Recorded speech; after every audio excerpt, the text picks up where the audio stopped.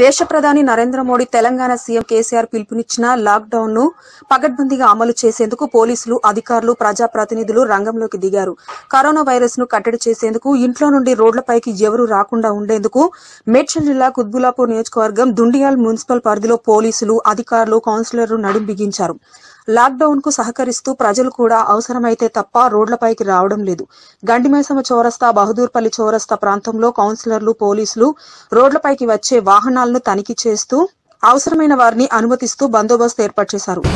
మొత్తానికి మాత్రం దేశ ప్రధానమంత్రి రాష్ట్ర ముఖ్యమంత్రి కేసీఆర్ ఇరవై ఒక రోజు లాక్డౌన్ సందర్భంగా ఈ రోజు దుండుగల్ గండిమిశ్రమ పురపాలక సంఘం పరిధిలోని నాలుగు వైపులా ఎక్కడ చూసినా ఇరవై ఒక్క రోజు లాక్డౌన్ సందర్భంగా ఈ రోజు పోలీసులు అదేవిధంగా కౌన్సిలర్లు కూడా దగ్గరుండి ఏదైనా అత్యవసర వస్తువులకు తప్ప వేరే వాటికి మాత్రం వెహికల్ చెక్ చేసి పంపించడం జరుగుతున్నది.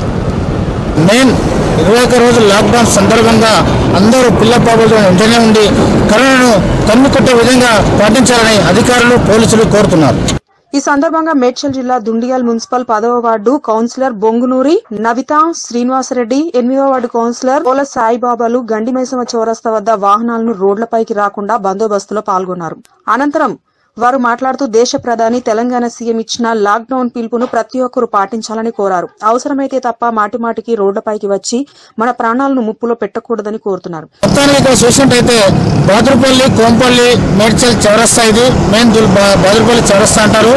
ఇక్కడ రాష్ట్ర కేంద్ర ప్రభుత్వం రాష్ట్ర ప్రభుత్వాల ప్రధానమంత్రి మోడీ కేసీఆర్ పిలుపు మేరకు లాక్డౌన్ సందర్భంగా ఇక్కడ రోడ్లన్నీ ఖాళీగా దర్శనమిస్తున్నాయి. ఏదైనా అత్యవసర వస్తువులకు సంబంధించి మాత్రం వాళ్ళను వెహికల్స్ పరిశీలన చేసి పంపిస్తున్నారు అధికారులు ఇటు పోలీసులు ఇటు ట్రాఫిక్ వాళ్ళు కూడా. ఇంట్లోనే ఉండి కరోనా మహమ్మారిని తరిమి కొడదామని పిలుపునిచ్చారు. లాక్డౌన్లో పోలీసులు చేస్తున్న కృషి హర్షించదగ్గ విషయమన్నారు. మనం ప్రపంచవ్యాప్తంగా కరోనా అనే మహమ్మారిని మహమ్మారి ప్రజలను ఏ విధంగా భయభ్రాంతులకు గురి చేస్తుందో ప్రతి ఒక్కరి ప్రాణాలని కబలించడానికి సిద్ధంగా ఉన్నటువంటి కరోనా మహమ్మారిని అటు కేంద్ర ప్రభుత్వం కానీ ప్రధాని నరేంద్ర మోడీ గారి పిలుపు మేరకు అలాగే రాష్ట్ర ముఖ్యమంత్రి కేసీఆర్ గారి పిలుపు మేరకు కూడా ప్రజలు లాక్డౌన్లో సక్రమంగా పాల్గొంటున్నారు. ముఖ్యంగా ఈ కరోనా వ్యాధికి మందు అనేది లేదు వ్యాక్సిన్ అనేది లేదు. దాన్ని మనం మనం మనమే నియంత్రించుకోవాల్సిన అవసరం ఉంది కాబట్టి ప్రజలు ప్రభుత్వ పెద్దల పిలుపు మేరకు స్వచ్ఛందంగా ఎవరి ఇళ్ళలో వాళ్ళుండి ఈ కరోనా అనే మహమ్మారిని నియంత్రించాలని చెప్పేసి ప్రజలకి సందర్భంగా తెలియజేస్తున్నాము.